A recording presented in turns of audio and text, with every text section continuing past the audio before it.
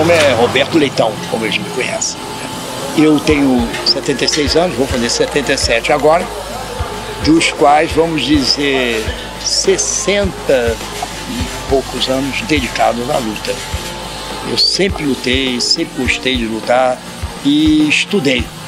Então eu tenho um título que eu falo brincadeira, eu que me dei esse título. O título é o seguinte: eu sou o homem que mais gosta da luta. Eu não admito que alguém goste mais do que eu. Os outros ser campeão, qualquer tudo tem menos importância. Eu quero é gostar da luta. Então eu trabalho para ela. E o homem que gosta do que faz nunca trabalhou. Então para mim é um prazer. Eu fazia judô, como eu disse a você, um calor danado, tiramos o paletó. Então ali eu, eu vinha conhecer o Taquiano, que foi colega do Tatu, até por sinal, da aquela mesma trupe de.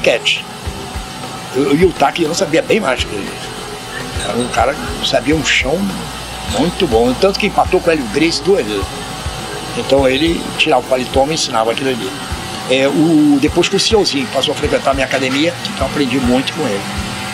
E depois dessa, quando eu já estava já botando, saindo para fora do meu mundo, eu passei a procurar qualquer academia que tivesse. Tinha Academia Brasil lá na avenida, eu ia lá, em Olaria. Tinha academia não sei o que, eu ia lá, onde tivesse. Quando viajava, procurava academia lá fora e ia treinar e aprender alguma coisa. E ensino tudo que sei e aprendo todo dia também. E, é, ensinar é uma coisa de mão dupla. Tanto a gente ensina como aprende. Só que eu, por graça de Deus, tive uma escolaridade muito adequada. Afinal de contas, eu fiz a engenharia, professor de mecânica aplicada, estudei a biomecânica. Então, o que é que acontece? Eu tinha condições de estudar e de desenvolver. Foi o que eu fiz e me dedico a minha vida toda a isso.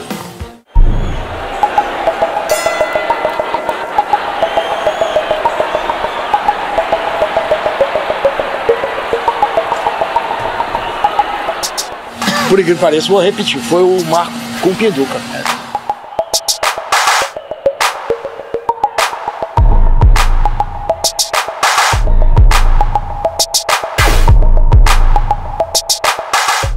Achei aquele evento triste, porque eu me lembro que na hora que isso começou, eu fui contra. Eu, eu dizia, não vamos lutar com quatro ou cinco lutadores. Experimenta com um Vamos ver como é que eles estão. A gente não sabe. Vamos estar com um só. Se perder, um perdeu. E eu dava, eu dizia, bota o Hugo. Foi justamente o que não lutou. Os outros lutaram e perderam.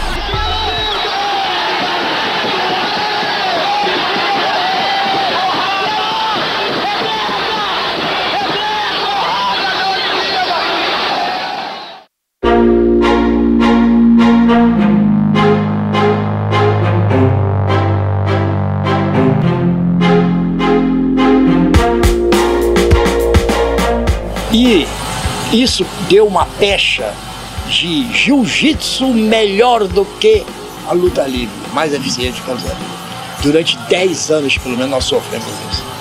E eu, que transitava tanto no jiu-jitsu como na luta livre, era amigo de vários, sofri muito, porque era aquela gozação permanente, era aquilo horrível. E a gente não precisava ter passado por isso. Se perdêssemos uma luta, não tinha problema nenhum. Nós íamos nos preparar para melhorar e depois já conhecendo nossos adversários que não gostam de perder seguramente.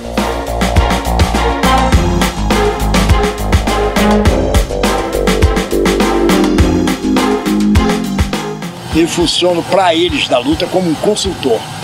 O, o Dedé, por exemplo, mestre, olha, tem aquela posição 50-50 do jiu-jitsu, como é que ele tem uma saída para ela?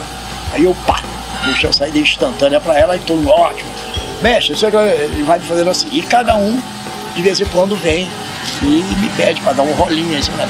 Eu, eu, eu, agora, eu tenho que tomar muito cuidado com eles, brincando, né? Porque senão eles fazem uma outra coisa. Eles não dizem que eles são, são do jiu-jitsu ou são da luta livre. Não, eles dizem, dizem, na realidade, no fundo, você é do jiu-jitsu. Aí eu digo, não! Então eles estão loucos para que eu visto que bom, mas eu não vi.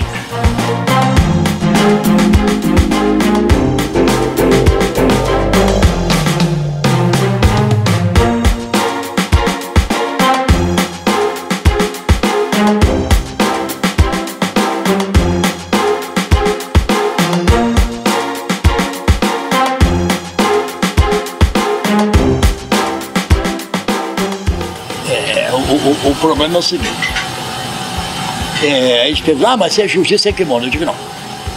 É, vocês conhecem futebol sem bola? Não conhecem. Então não tem jiu-jitsu sem kimono. Kimono é uma parte intrínseca do jiu-jitsu. Tem que ter, senão não tem jiu-jitsu. Qualquer coisa que não tem kimono é luta livre. Livre de adereços. Não tem paletó, não tem sapatilha, não tem luva. É isso aí. Não, ela não está no lugar que ela merece por problemas de vaidade. A gente tinha que se unir com cuidado e esquecer as mágoas e tocar em frente que ela vai, vai brilhar.